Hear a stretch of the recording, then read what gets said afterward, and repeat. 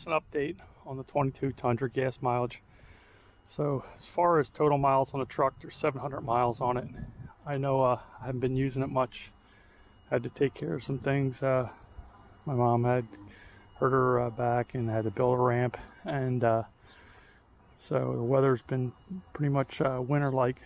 Um, even today was snow flurrying up in Hamburg, PA. So anyway, got out and uh, brought the uh, Honda Foreman out, loaded up in the back of the five and half foot bed.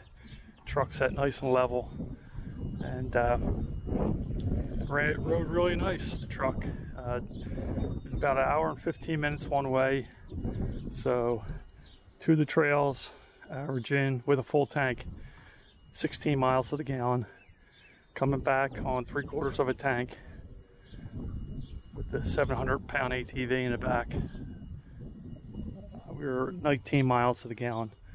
So climbing in altitude with full, full fuel tank probably, uh, you know, took a little bit of a toll on the gas mileage.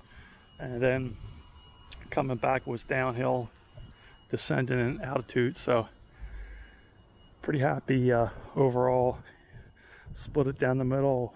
What you're looking at some somewhere around, just say 17 and a half miles to the gallon on the uh, truck with really uh, low, low miles, not really broken in.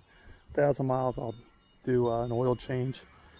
But hauling 700 pounds in the bed, uh, I thought the mileage was uh, decent.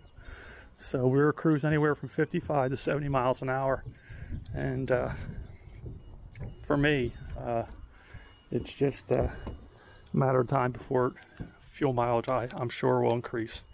All right, hope uh, you like the video. Update, hopefully uh, sooner than later.